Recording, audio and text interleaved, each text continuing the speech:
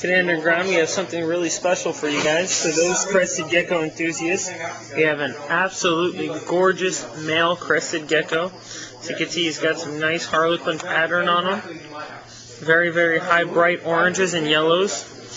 Some great patterning and markings near behind the head and also all the way down the head to the tail. It's also got some Dalmatian spotting and flecking.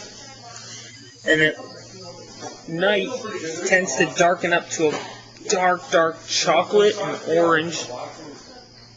Absolutely be beautiful. He's currently eating crickets as well as uh, crested gecko diet.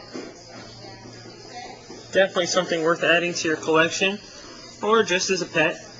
This guy will definitely make a, uh, a very, very interesting pet for years to come.